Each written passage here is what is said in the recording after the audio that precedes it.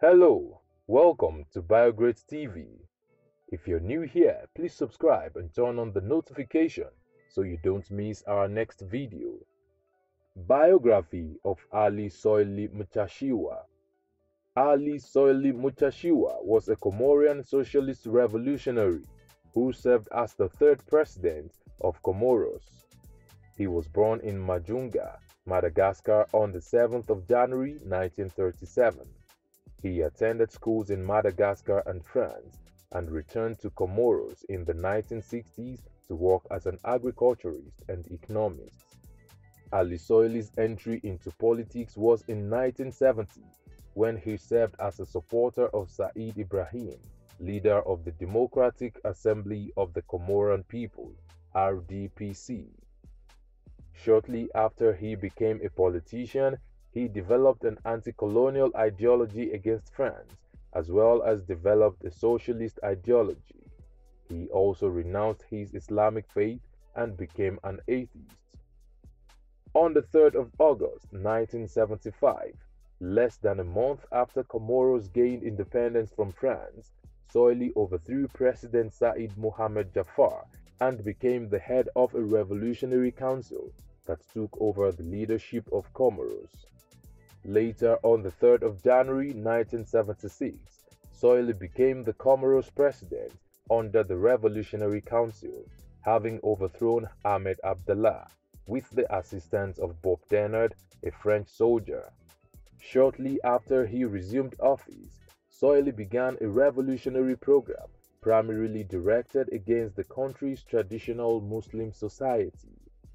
Based on his Maoism and Islamic philosophies, he desired to develop Comoros into an economically independent and ideologically progressive modern 20th century state. In the spirit of revolution, he abolished some of the country's customs such as anda, the traditional grand marriage, together with expensive traditional funerary ceremonies. He also discouraged the study of history in a bid to advance the cause of the youth and charge the younger generation to get involved in governance. To achieve this more easily, he lowered the voting age to 14 and positioned teenagers in positions of responsibility.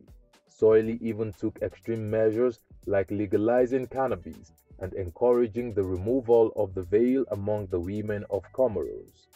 He went ahead to establish Mwasi, a young revolutionary militia trained by Tanzanian military advisors. Similar to China's Mao Zedong's Red Guards, Mwasi terrorized villages and executed violent attacks against conservative elders who were formally and reverentially referred to as old men. Soilih's highly confrontational policies caused France to stop its aid and technical assistance programs to Comoros. Also, the teenager-dominated Mwasi became increasingly viewed by the Comorian people as repressive and political. Their revolutionary moves were intimidating and terribly violent, as over time, the teenagers were armed with AK 47 assault rifles and got outrageously arrogant, raping women who resisted their advances and killing anyone who questioned their authority.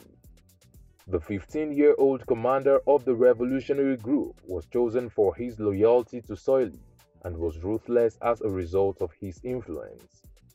All of these unpleasant activities fueled the growing discontent in Comoros, which led to four unsuccessful coup attempts against Soilih's regime during his two and a half year tenure.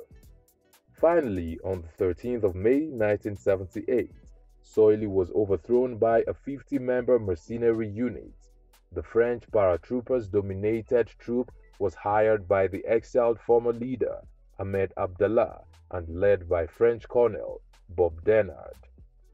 The experienced soldiers found it quite easy to eliminate Mwasi teenagers who were outrightly untrained in operating ammunition. Hundreds of the Mwasi teenagers died in that battle, and Soilih faced his defeat later that night when Denard found Soilih having sexual relations with teenage schoolgirls who were abusing drugs and watching pornography. That was the night Soilih got deposed. Abdallah became president and reversed Soilih's policies. He also changed the name of the country to the Islamic Federal Republic of the Comoros.